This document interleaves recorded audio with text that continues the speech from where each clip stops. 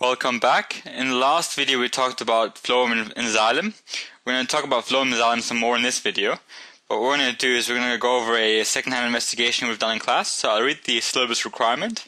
Students will choose equipment or resources to perform a first-hand investigation to gather first-hand data to draw transverse and longitudinal sections of phloem and xylem tissue.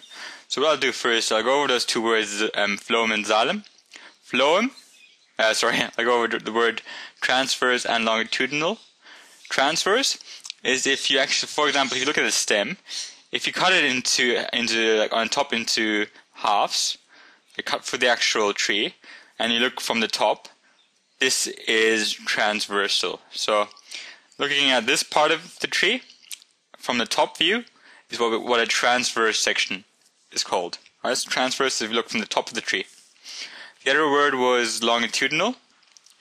And now you can imagine if you were to cut that into half from here, like if you look at two equal halves from the side, that's a longitudinal section. Right? So transverse was looking from the top, and um, longitudinal was cutting it in half and looking at the two halves. So I'll go over the first part, the cross-sectional, so what I have here, this is actually a picture. So you might have done this in class. You might have looked at the cross-sectional view of the xylem. So it says here, uh, location of tissue in a young in young stem. So you actually need to remember uh, this diagram, and I'll draw it as well. So I draw the parts that you need to be able to remember.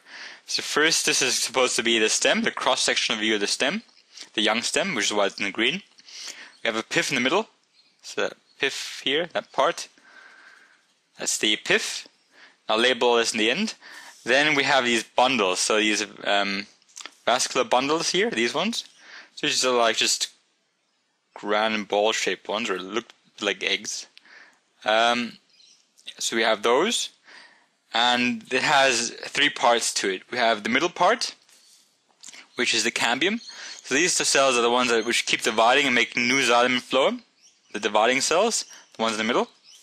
And then on the inside, we have um, xylem, right? So in the inside we have xylem. So you can see here is xylem in the inside.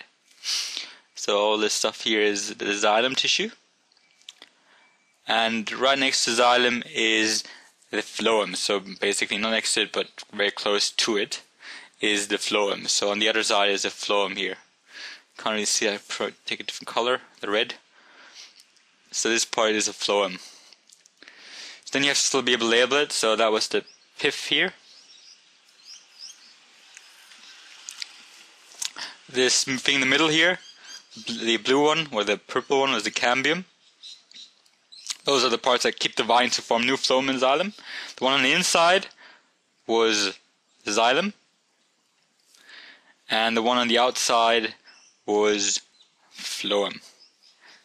And the whole thing together, so this whole cone, like one of these X shape with the phloem, xylem, cambium. Those were called the vascular vascular bundle. So you should be need. I mean, what could be an exam? It could be a question about having to label them. Sometimes maybe to draw them as well, but often to label them. So be able to draw them, but also be able to label them. Uh, the second part was the longitudinal. So again, remember longitudinal was if you cut it into half. So imagine this was to a, a phloem, but you cut it into half and you're looking from the side as opposed to from the top. So um, you need to be able to draw a longitudinal of both the xylem and the phloem. I'm not going to show you how to draw one for the xylem because it's quite simple. All you have to do is draw like a tube. Actually, I'll show it the tube, and then you draw like these circles, which are like I'm not going to. My circles don't look that nice, but these circles are just the lignin and what the lignin does, is it keeps it in place, it makes sure that the actual tube doesn't fall apart. So these circles are supposed to be lignin, and they basically keep the shape of the xylem tube. Right, so this was the xylem here. What, These here are the xylem. Picture, if it were not black and white, probably be clear. All you do is, yeah, tube and you've got these rings. These rings are lignin, and these are the ones that keep it in place. And the other one here is the phloem. So for the phloem, you need to know a couple of words. Um, these here, right here, are the companion cells. So if you remember the, what um, I said earlier, you have companion cells. We might have a sink cell here, so sink cell might be here. So leaf cell might be here. And it has to get actively pump sugar, so it has all that sugar. It has to actively pump that sugar into the phloem. This is the phloem. So the sieve, the companion cell, actually allows it, helps it to pump this into the phloem.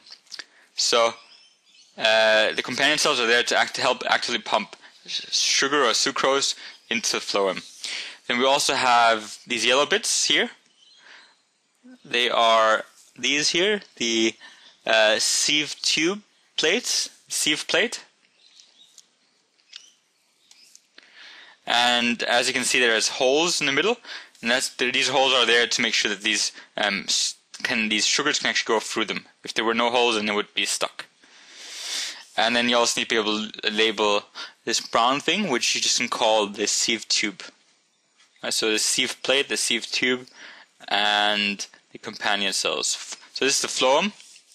This whole thing is a phloem. This whole thing is a phloem cell. And the phloem consists of these companion cells that help active transport sugar sugar into the sieve tube. We've got a sieve tube, which is where the stuff will go down to, to the sink cell, and we have a sieve plates, which are just um, parts which half block it but don't really block it, but they give it some structure to make sure that it doesn't fall apart. But these sugars can still move through. That's for the phloem.